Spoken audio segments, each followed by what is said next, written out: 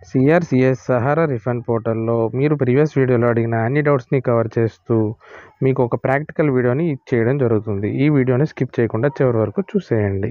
Welcome back to GSWS update channel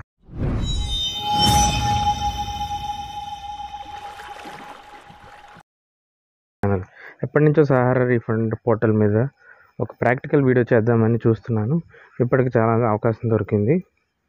okay మొదట మనకి depositor registration అనే ఆప్షన్లో మన Aadhaar last four digits and mobile నెంబర్తో రిజిస్టర్ అవ్వాల్సి ఉంటుంది.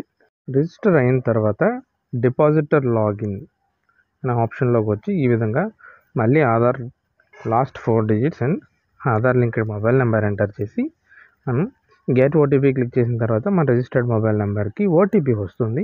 ఆ ఓటీపీని మనం ఇక్కడ ఎంటర్ చేసి వెరిఫై చేసుకోవాల్సి ఉంటుంది. ఇక్కడ మనం డిపాజిటర్ ఆధార్ నెంబర్తో లాగిన్ అవ్వడం జరుగుతుంది. ఈ విధంగా ఫస్ట్ స్టేజ్లోకి ఎంటర్ అవ్వబోతున్నాను ఓకే ఇక్కడ ఆల్రెడీ నేను యాక్సెప్ట్ చేసి ఉన్నాను కాబట్టి ఇప్పుడు డైరెక్ట్గా నెక్స్ట్ క్లిక్ చేస్తున్నాను. లేకపోతే ఫస్ట్ మీరు యాక్సెప్ట్ చేయవలసి ఉంటుంది. తర్వాత నెక్స్ట్ స్టెప్లో సెకండ్ స్టేజ్లో మనం ఈమెయిల్ అడ్రస్ని అప్డేట్ చేయవలసి ఉంటుంది.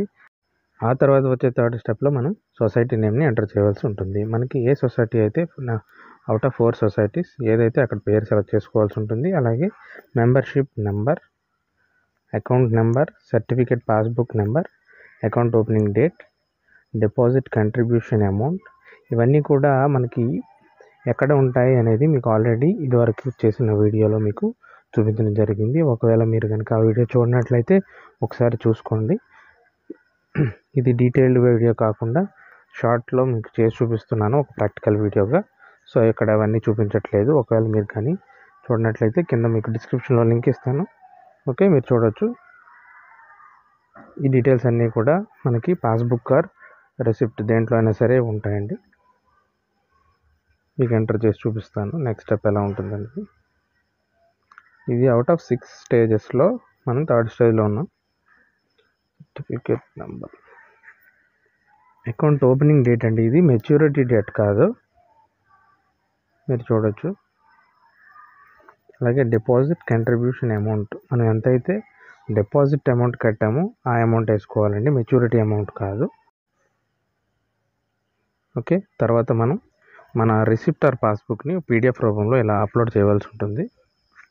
అప్లోడ్ చేసి మనం యాడ్ క్లెయిమ్ మీద క్లిక్ చేస్తే మనకి క్లెయిమ్స్ అనేవి యాడ్ అవుతాయండి. మీ దగ్గర ఎన్ని క్లెయిమ్స్ అయినా ఉండొచ్చు. అన్ని క్లెయిమ్స్ని కూడా ఒకేసారి యాడ్ చేయవలసి ఉంటుంది. సో అన్నీ యాడ్ చేసిన తర్వాత నెక్స్ట్ స్టెప్లో మనకి జనరేట్ క్లెయిమ్ రిక్వెస్ట్ ఫామ్ అని ఉంటుందండి.